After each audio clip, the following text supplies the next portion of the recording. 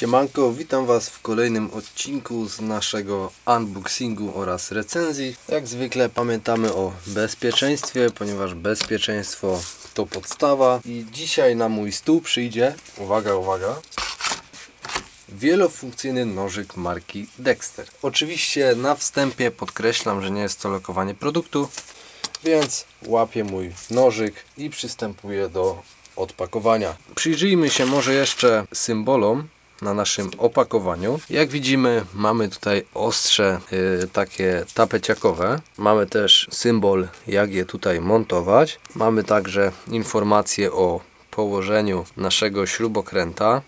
mamy też informacje o funkcjonalności naszej piły oraz blokadę.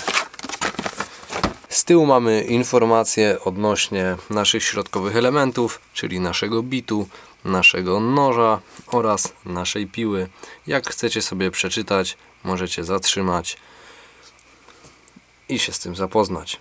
Tutaj w różnych językach mamy opisany nasz produkt. Po polsku mamy, że to jest składany nóż wielofunkcyjny, cztery funkcje w jednym. Ja teraz łapię za mój nożyk i przystąpimy do odpakowania.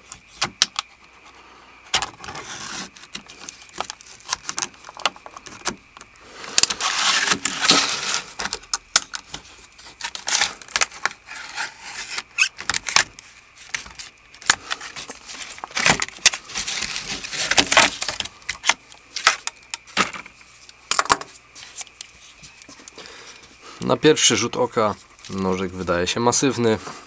Ma on tutaj gumową wstawkę, takiego gripa. Pomarańczowy to jest plastik.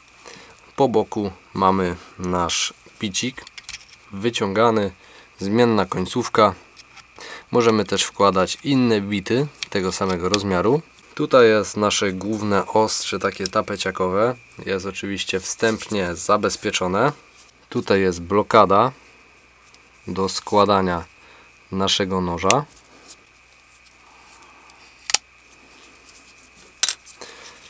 A także po boku mamy tutaj naszą piłę. Teraz pokażę Wam jak wyciągnąć te nasze przyrządy. A więc tutaj mamy taki dzynzelek i musimy go pociągnąć w dół. Wtedy jak widzicie usłyszeliśmy takie kliknięcie i jeżeli wróci do pozycji pracującej to po prostu się tutaj zablokuje. Jeżeli chcemy zrobić tak, mamy już nasz gotowy śrubokręt. A jeżeli chcemy złożyć, to też wciskamy. Teraz sprawdźmy, jak to działa przy naszej piłce. Przy naszej piłce działa zupełnie tak samo. Piła jest w pozycji roboczej. Nasz dzynzelek odskoczył. Teraz wciśniemy nasz dzynzelek. Złożymy kawałek piły. Jak widzicie, Dzynzelek nie jest tak ten poprzedni na swoim miejscu, ale jeśli złożymy naszą piłę do końca, to nasz dzynzelek odskoczy.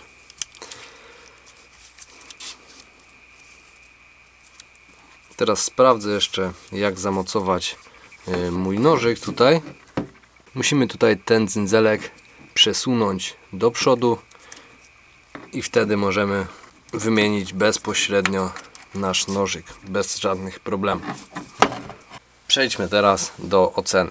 Funkcjonalność oceniam gdzieś tak na dobrą siódemkę, ponieważ ten nożyk nie zawsze może się przydać, a bicik nie zawsze będzie można wymienić i nie zawsze będę chodził z kompletem pod ręką, więc nie wiem co będę potrzebował.